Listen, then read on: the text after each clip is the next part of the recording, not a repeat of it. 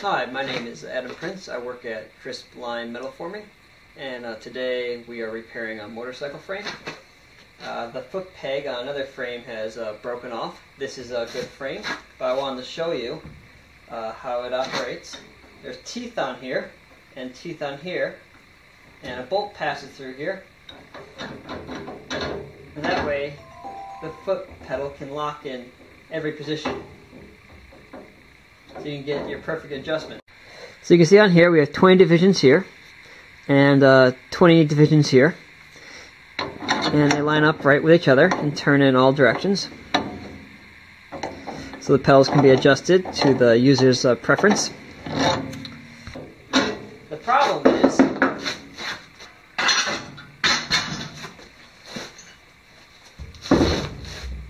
on this other frame it's been uh, completely torn off and so I have to make a new uh, foot peg. It should be noted that uh, this side is actually shorter than this side. This side is going to be about two and uh, three quarters of an inch long. And this other side here, if you're missing this side, is about one and seven eighths of an inch. You need to start off by uh, squaring the stock.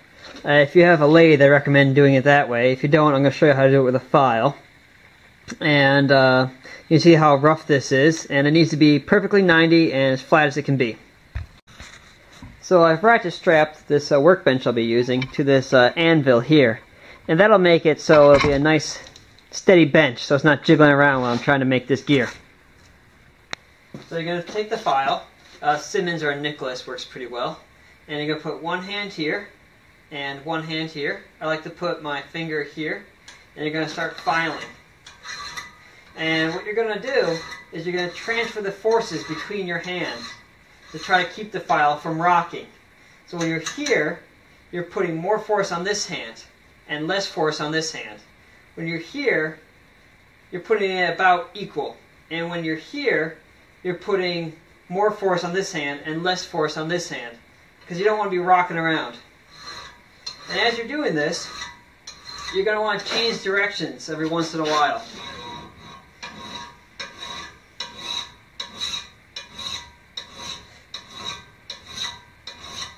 And then even once in a while, you're going to want to change the whole direction of the piece.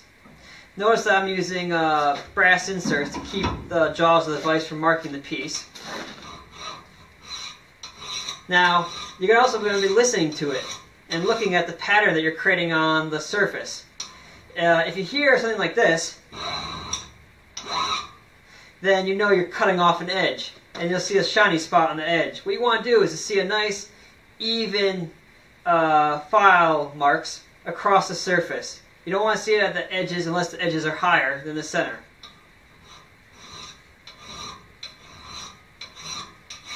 Working across, transferring the motions, transferring the motions, transferring the motions. Um, again, rotating around. So you can see, that's going to be very hard to uh, do it absolutely perfectly and you're going to end up from your rocking motion with a slight convex surface. So once your majority of your filing is uh, finished, what you're going to do is you're going to start doing uh, cross filing. So once you get the surface a lot better, you're going to start cross filing it like this. Usually on an old file, this surface here in the very back tends to be the sharpest because it received the least amount of use. So then you're going to be changing directions changing directions. Compensates for any bias you have. You know, you might file one direction a little bit more than you do the other. And if you do it right, I've already done the other side, you're going to come out with a nice flat surface. You can see that's nice and 90. You can hold it up to the light even and check it that way. See if you can't see any light through it, which I cannot. Then what you're going to do is you're going to take your uh, Sharpie marker and you're going to uh, color the whole thing. If it's not black enough, because your Sharpie marker is a little old, then let it dry and do a second coat. Don't be going on over it again, because you'll just smear it around. So I've locked these two together, just using a C-clamp. I've intentionally put the screw on this side, and that way when I'm tightening it, it doesn't try to turn this and uh, smear the paint. Because you can see that uh, this area here will uh, brace it from turning a little bit.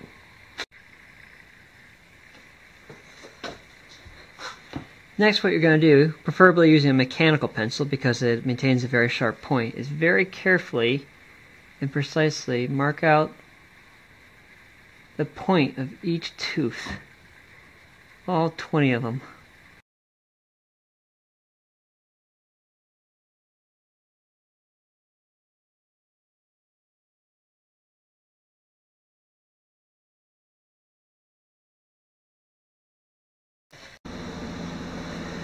Alright, so I cut this little paper piece out here. Uh, it's a half a circle with the same diameter as this piece here.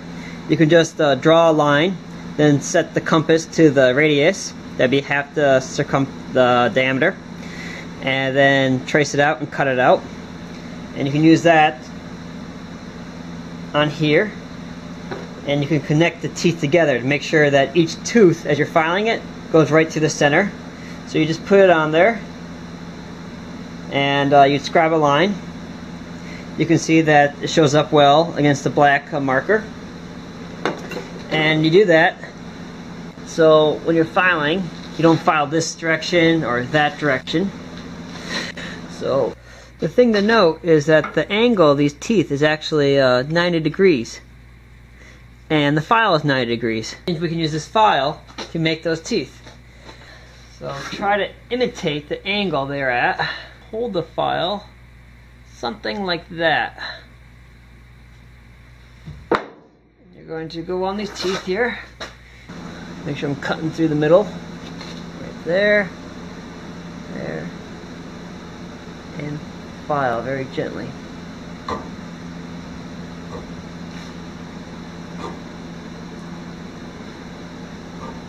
You want to take a lot of care in this.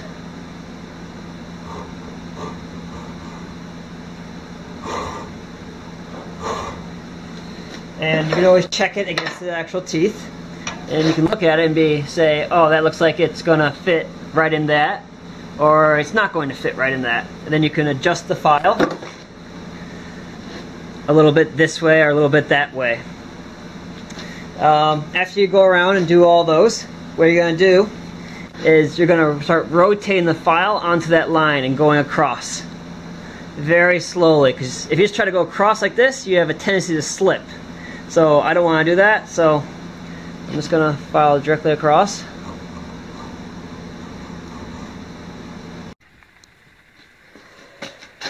So you filed all the way across, and what you're going to do is, uh, after you've done this all the way around, you're going to take a marker, color it in, uh, line up the piece as best you can, and then you're going to smack it with a hammer. And what you're going to see is it's going to wear away the paint on here. You want this stuff obviously to dry. And wherever it's worn away, that's where it's touching. And so you'll have to file it a little more this way, or a little more this way or that way, or sometimes you have to tilt the file a little bit more. And you're going to keep doing that and you'll get down to finer and finer stuff so you get smaller files sometimes and just kind of work your way in there for fine tuning things that are just a little bit off. And if you do everything correctly you're going to end up with a piece like this. And you can see that it lines right up. They can change in all directions. This is handmade Then I uh, took it on a lathe just because it's so much easier. Drilled a hole, uh, deburred it, and uh, bored it because my TIG welder can only do 185 amps. And the limit of that is about 3 16ths of an inch. And so I made this about 3 16ths of an inch. And that allowed me to weld it because otherwise it's much too thick. And that's how it's done. Okay, you can see the piece is going to be uh, bolted in place.